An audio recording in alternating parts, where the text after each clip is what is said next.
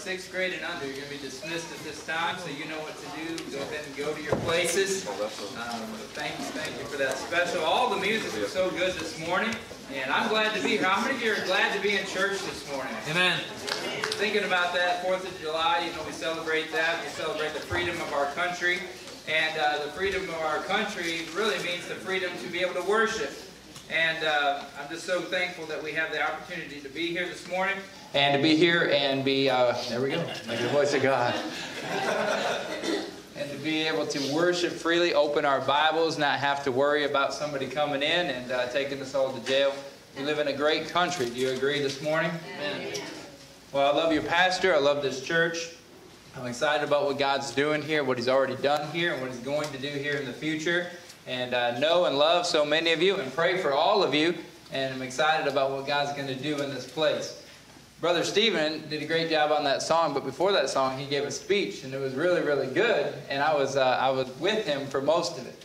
He said, when you're working out, you feel weak. I said, I get that, yes. And uh, he talked about CrossFit and all of that, and uh, uh, how weak you feel. I said, man, I understand that. Then he started talking about lifting, you know, 150, 300 pounds or whatever. I'm like, I'm no longer with you. I have no idea what you're talking about. Um, but this morning, we do serve a great God who's all powerful.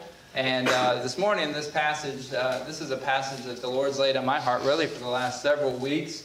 And it's a whole chapter. And normally, I would never try to cover a whole chapter um, in one service. But I want to give you a few things that the Lord showed me out of 1 Samuel chapter number 25. And I hope it'll be a help to you and an encouragement. I believe God's laid it on my heart to give to you. So I don't know your situation, but this morning, God knows your situation, and He has the power to change it. Isn't that an exciting thought? God knows your situation, and He has the power to change it. And we see that in this passage here, and this is the passage that uh, really talks about the life of David. And to kind of give you a little synopsis of where we are, David has already killed Goliath. David has already killed the, the lion and the, uh, the bear, God, or the, the lion. Um, God has already given him deliverance. God has already anointed him to be the next king. And right now, in this passage, David is literally on the run from Saul. Saul wants to take his life. Saul wants to kill him. And David's on the run. And we find in this passage, number 25, that's what's going on in David's life. He's been running from King Saul trying to spare his life. And as we come into to 1 Samuel 25, I love it for a lot of reasons, but uh, one, one reason I love it, there's two funerals and a marriage proposal all in the same passage. But there's so much more, and I want to dig right into it this morning. I don't know if you like outlines or not, but I have an outline, and I'm going to give it to you quickly, and then I'm going to get away from the outline, okay? Okay, so this morning, the outline is simply this. Number one, there's an unforeseen opportunity. Verses 1 through 9, we see an unforeseen opportunity. And I want to give you just a little synopsis of what's going on in this passage. In the first verse of this passage, you see that Samuel dies, and all of Israel comes together, and they lament and they mourn the loss of Samuel. And then we see that uh, David uh, goes to a man named Carmel. He sends some men to go uh, to see this man, and his name is Nabal. And the Bible says a few things about Nabal. It says that Nabal was a curlish and evil man. This was not a great guy. It also says that Nabal was a very, very rich man. Uh, he had 3,000 sheep. And this is the premise of this passage, okay? Uh, David had a bunch of men, and there was a battle going on. And Nabal's sheep and shepherds were in the middle of this battle. And what David and his men did is he protected Nabal's sheep. He had 3,000 sheep, several shepherds, and during this battle, David and his men came and they protected uh, they protected the sheep and the shepherds to the point where one of the servants or one of the shepherds said it was like they had a wall about them day and night. Nothing happened to these sheep. Nothing happened to uh, these shepherds. And if you know anything about Bible times, if you have 3,000 sheep, that's a pretty good deal, okay? You're a rich guy if you have 3,000 sheep. Now, I don't think anybody in here this morning has sheep, but we look at things a little bit differently today than we did in Bible times. And so these 3,000 sheep and these shepherds were kept safe by David.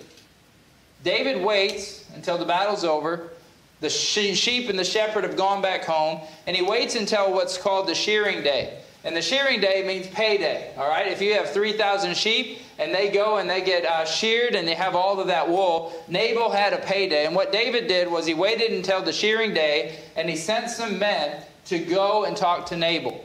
To find out if they could get payment for protecting the 3,000 sheep and the shepherds. And that's what happens here in uh, verses number 1 through 9. These men come to Nabal, and they come to Nabal and they begin to ask Nabal uh, to pay David for the protection that was given to them. So we see an unforeseen opportunity in verses 1 through 9.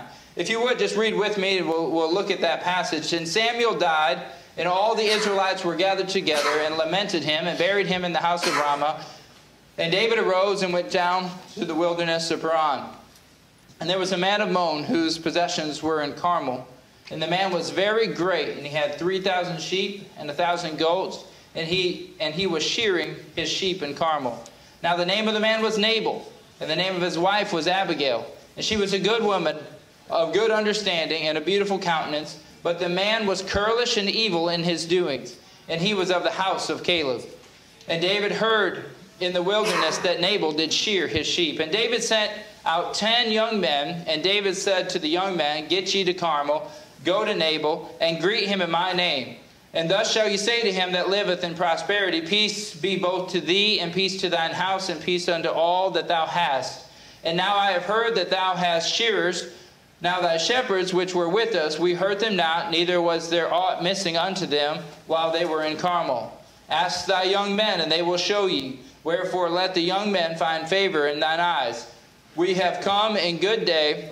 Give, I pray thee, what cometh to thine hand unto the servants and to the son of David. And when David's young men came and spake unto Nabal according to all the words that came to David, and ceased not and ceased, and Nabal answered David's servants, Who is David? And who is the son of Jesse? There be many servants now a day that break away from every man his master. So we see a, an opportunity that's missed, an unforeseen opportunity. These men come to Nabal and they ask him for payment for what they did. And the response that Nabal gives is, Who is David? Who is the son of Jesse? So we see an unforeseen opportunity, but then secondly, we see an unreasonable objection. Nabal refuses to give anything to David or David's men for the protection that was given. Now this is a very rich man who could have done something. He could have, he could have given them something, but he chooses not to. We see an unreasonable objection. But then we see an urgent offering. What happens in verse number 14 through 17? One of the servants comes to Abigail, and this is Nabal's wife, and he comes and he says, Everything that David's men said is true. There was a wall about us. There was nothing that happened to us, and he protected us. And the reason that, that Nabal still has 3,000 sheep, and the reason that I'm even alive is because of David and his men. And we see that there's an urgent offering. Haste was made. Abigail begins to grab things to take to David. Look at verse number 18. Then Abigail made haste and took 200 loaves and two bottles of wine, and five sheep ready dressed, and five measures of parched corn, and a hundred clusters of raisins, and two hundred cakes of figs, and laid them on asses. And she said unto her servants, Go before me, because behold, I come after you. But she told not her husband Nabal. So basically, what happens is one of the servants comes and they tell her everything that David said was true. She immediately begins to get some things together to take to David, and she goes to David and she bows down on her face before him. And she says, Please forgive my husband. She calls him the son of Belial.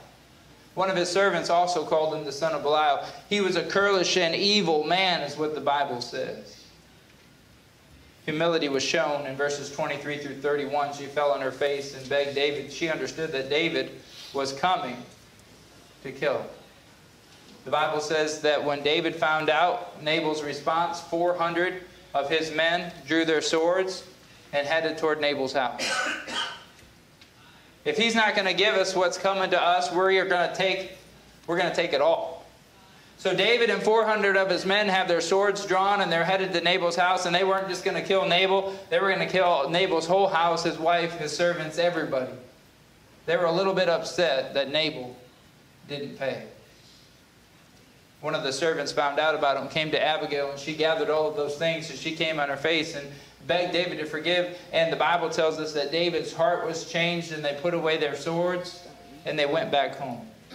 So we see an urgent offering, but then fourthly, we see an untimely obituary. If you read verses 36 and following, the Bible tells us what happens to Nabal. And Abigail came to Nabal, and be, behold, he held a feast in his house, like a feast of the king. And Nabal's heart was merry within him, for he was very drunken. Wherefore she told him nothing, less or more, until the morning light. But it came to pass in the morning, when, he, when the wine was gone out of Nabal, and his wife told him these things, that his heart died within him, and he became as a stone. And it came to pass about ten days after, the Lord smote Nabal, that he died. We see an untimely obituary. This wasn't a death that needed to occur. This wasn't uh, his time necessarily, but then we see an unexpected outcome as well. Five points this morning. Number one, an unforeseen opportunity. Number two, an unreasonable objection. Number three, an urgent offering. Number four, an untimely obituary. And then number five, an unexpected outcome. Verses 39 through 42, we see uh, an interesting part of this story. Verse 39 says this And when David heard that Nabal was dead, he said, Blessed be the Lord that pleaded the cause of my reproach from the hand of Nabal, and kept his servant from evil. For the Lord hath returned the wickedness of Nabal upon his own head. And David sent and communed with Abigail to take her to him to wife. And the servant said unto David, Come to Abigail to Carmel, and they spake unto her, saying, David sent us to thee to take thee to him to wife. And she arose and bowed herself on her on her face, and be, behold, thine handmaid be a servant to wash the feet of thy servants of my Lord. And Abigail hasted and arose and rode upon an ass with five damsels of hers that went after her, and she went after the messengers of David and became his wife.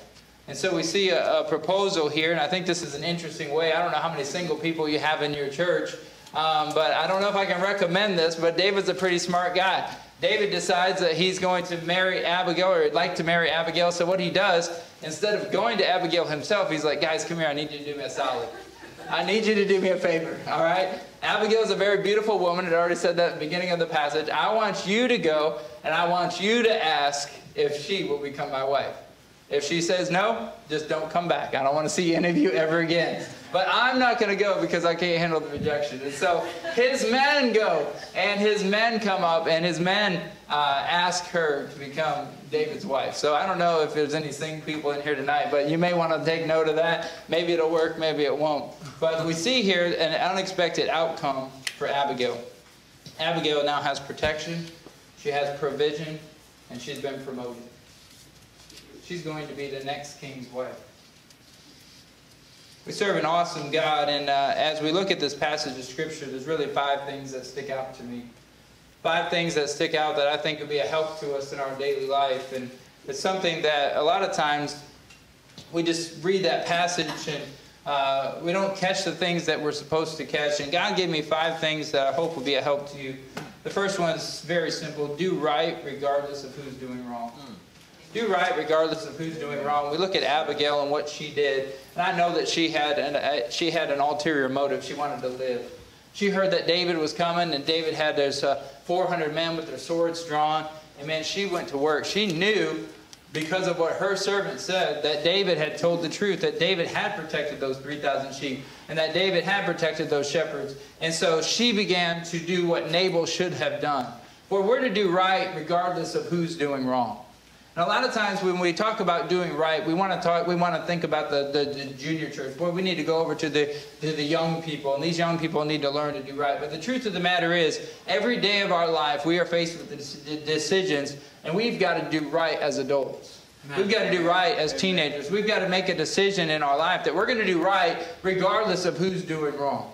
Man, think about the, even Christian schools or uh, even in churches, there's people that do wrong. Uh, we had a young man who went to Pensacola Christian College this year, last year, and I was excited for him. He didn't grow up in a Christian home. He got saved in our youth group, and uh, he went to Pensacola Christian College, and uh, we went there during the hurricane. That's where we went. We have family that's there, and I said, let's get together and let's go out to eat. Let's talk about your semester so far.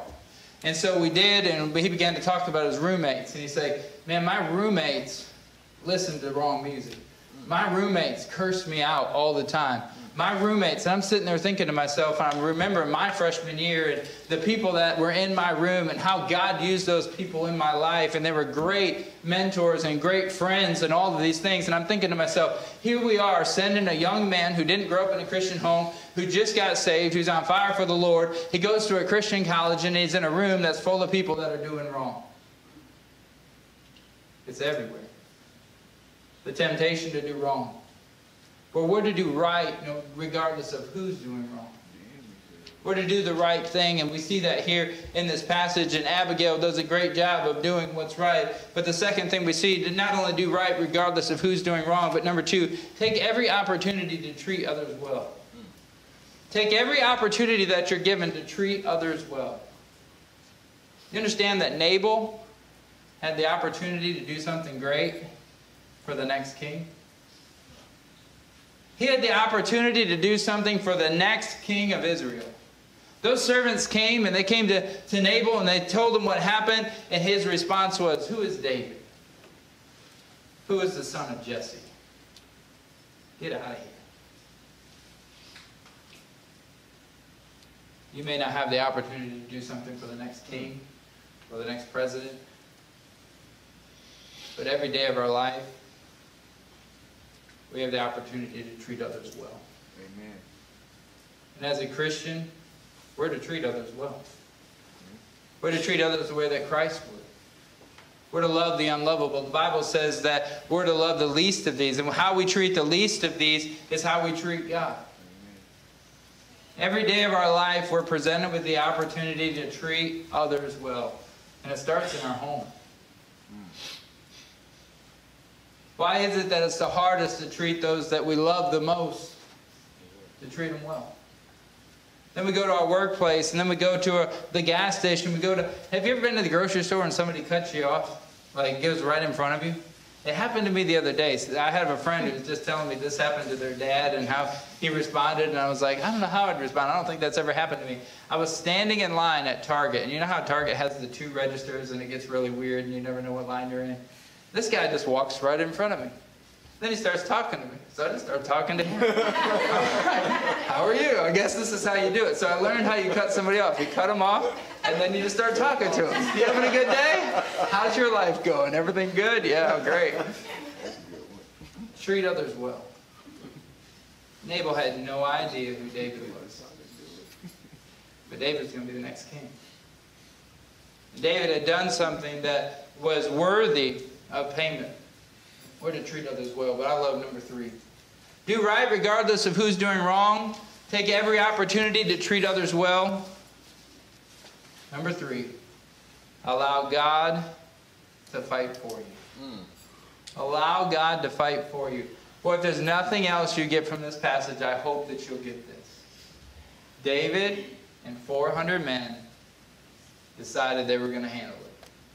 And they all got their swords and they went to Nabal's house. They were on their way to destroy everybody in that house. They were going to kill everybody in Nabal's family. I love this passage of Scripture because it reminds us that God knows our situation mm-hmm. and He has the power to change it. Mm. A lot of times we get discouraged and we forget that God knows everything. God loves you, He cares about you, and he doesn't just know your situation, but he has the power to change it. Amen. So David and his 400 men, they have their swords drawn and they're going to go take matters into their own hand. There's a problem and they're going to solve it. And that's how we live our lives a lot of times. We live our lives the exact same way that David and his men. If there's an issue, I've got to take care of it. If there's a battle, I've got to go fight it. This is just something that I have to do. It's not what the Bible teaches. The Bible teaches over and over again that God knows your situation and He has the power to change it. We need to put down our sword and give it to the Lord. That's exactly what David did in this passage. David and his men, they, they put their swords back down and they went back home. Abigail gets home. Nabal's throwing a party. He's drunk. She makes the decision, I'm not going to tell him until morning. The Bible says that in the morning when the wine was out of him, that Abigail began to tell him that David did protect and that she went to David and that she, she had given David some reward. And the Bible says right there that he turned as a stone. And 10 days later, he didn't just die. The Bible says the Lord smote him and he died. The Lord smote him and he died. You think about this passage of Scripture, you can't help but think, how many battles have I tried to fight myself? Man, if somebody does me wrong or uh, there's a situation that I just need to take care of and handle, and boy, we get up in arms right away and we try and go handle it ourselves when there's a God in heaven who's all powerful and he's all knowing, which means he knows our situation, he has the power to change it, but we don't trust him and we don't wait on him. Allow God to fight for you. Ever get tired? Ever get tired of trying to fight in your marriage? Fight for a position? Fight family? Whatever it is, you just get wore out because we're not supposed to fight. As a God in heaven who knows our situation, He has the power to change it. This morning, I'm here to tell you, allow God to fight for you. Do you believe that He knows your situation? Do you believe that He knows exactly what you're going through right now? And He has the power to change. Do right regardless of who is doing wrong. Take every opportunity to treat others well. Allow God to fight for you.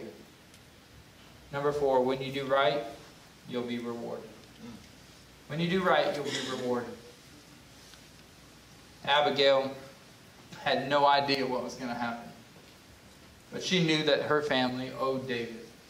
And so she gathered all of those things in verse 18 and she took it to David and said, Please take this as payment. And David's heart was changed and he didn't come kill all them. And ultimately, she became the next king of Israel's wife. She had protection, she had provision, she had promotion. Why? Because she did the right thing. When you do right, there's always reward.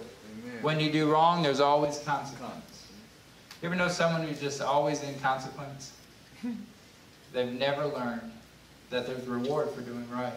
But once you start to do right, once you start to do what you know you're supposed to do, and the reward starts coming, mm-hmm. man, you don't you don't miss living in consequence. Amen. You don't miss the guilt. You don't miss the struggle. Do what's right. There's a reward for Abigail for sure.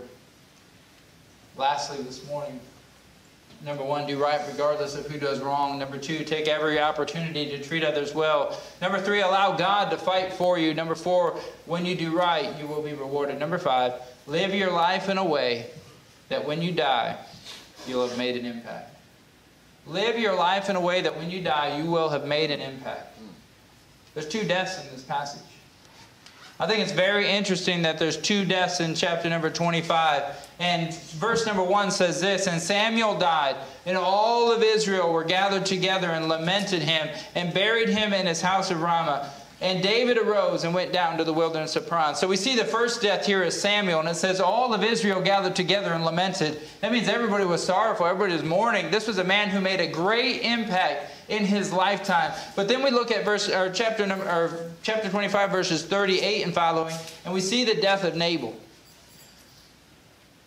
And it came to pass after about 10 after 10 days, the Lord smote Nabal that he died.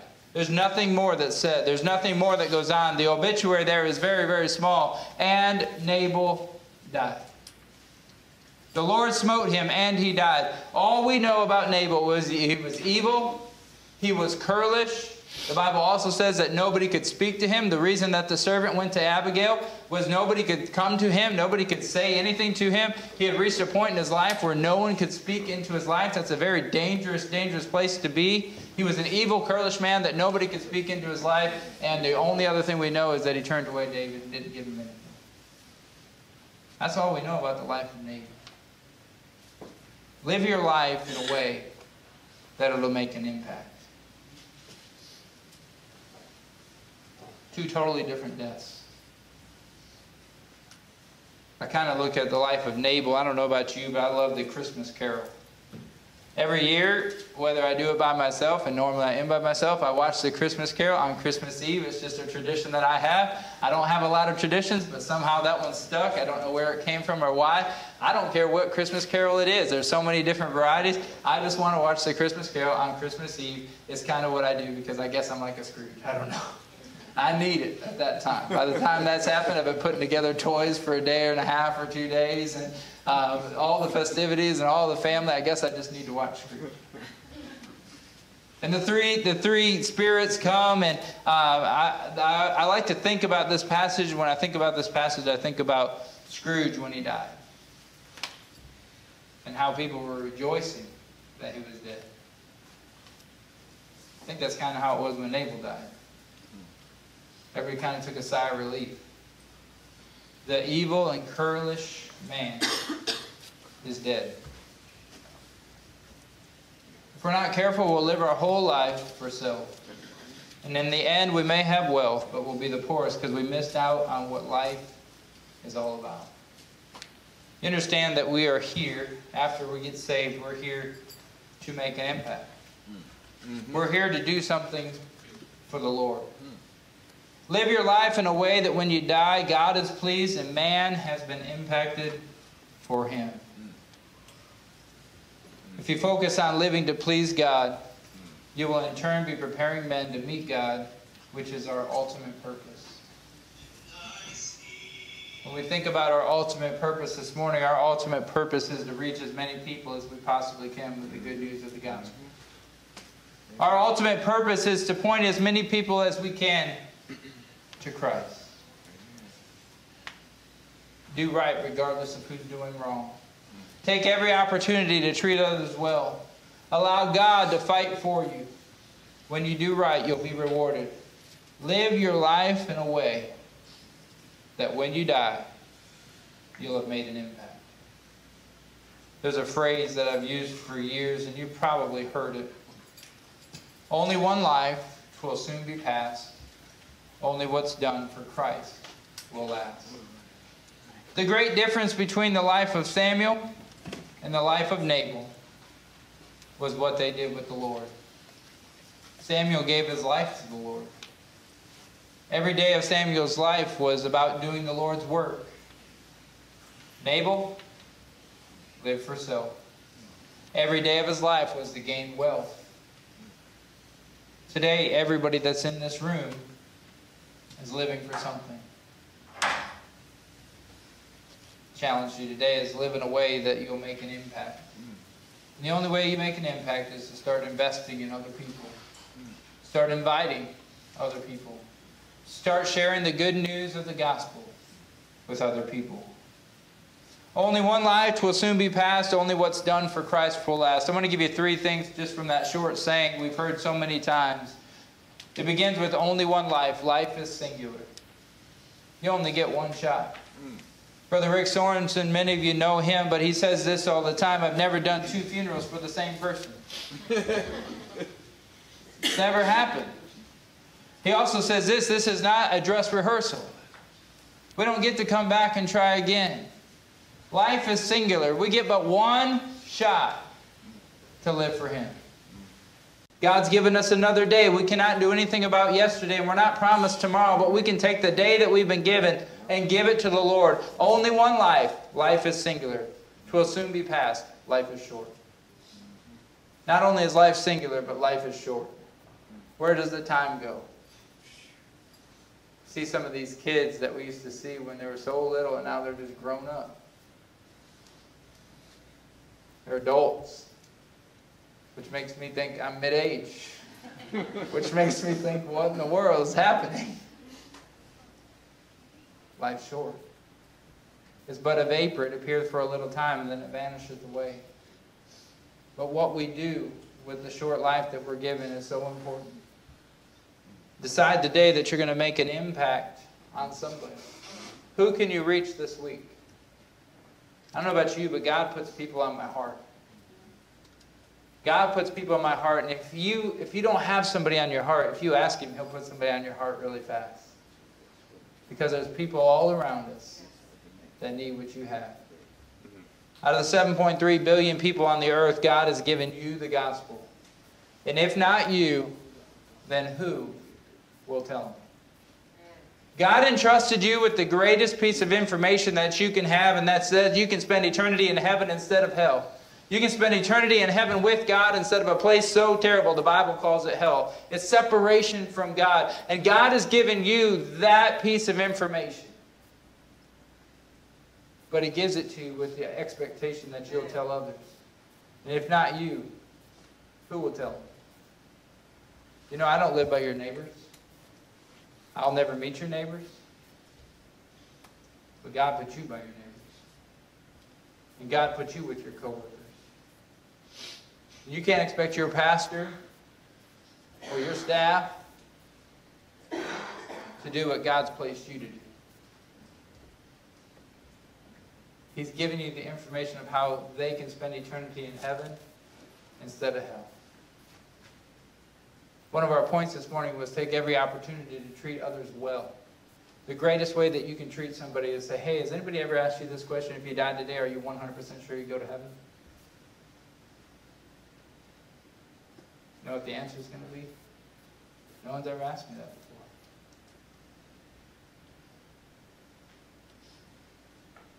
Take every opportunity to treat others well. Only one life. Life is singular. It will soon be past. Life is short. Only what's done for Christ will last. Life is serious. Life's not only singular and it's not only short, but life is serious goes by so quick. We're to take every day. I'm going to do right regardless of who's doing wrong. I'm going to allow God to fight my battles. I'm going to live my life in a way that impacts other people. I don't want to just be a good guy that people like. I want to help them know they can spend eternity in heaven instead of hell. Every head bowed, every eye closed this morning.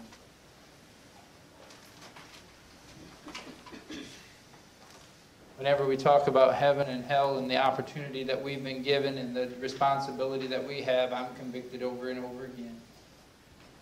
How many of you this morning would say, I want to live my life in a way that impacts other people? Will you raise your hand? I want to live my life in a way that impacts people. I don't want to waste my life, is basically what I'm asking this morning. Nabal wasted his life. It was all about self, and it was all about building wealth. Did whatever he wanted to do whenever he wanted to do it. Oh, the great difference between Samuel and Nabal. Samuel said, Lord, I want to do whatever you want me to I want to serve you with the days that you've given me. If you ask me to do it, I'll do it. You ask me to talk to that neighbor, that coworker, it's the least I can do for what you've done for me. We're to do right regardless of who does wrong. We're to allow God to fight our battles. We're to live our life in a way that makes an impact. Maybe you're here this morning. We're going to open the altar for a time of invitation. You know, a lot of times the altar is a confusing place. Just think it's for somebody who's in deep sin. No, the altar is for people to do, uh, make a commitment before God. Say, boy, you've given me my life. You've given me another day. Help me to give it back. Help me to make an impact today. Help me to drop a tract. Help me to say, uh, ask a question. Help me to reach the people that are in my life. Let's stand to our feet as they get ready to sing this morning. Man, if God's laid somebody on your heart, maybe God hasn't laid somebody on your heart, and you want God to lay somebody on your heart this morning, you say, I want to make an impact. I want to make a difference. I want my life to count for something today. I don't want to just waste my life and in the end have only lived for self or wealth. The altar's open. If God's working on you, you come. Do business with God.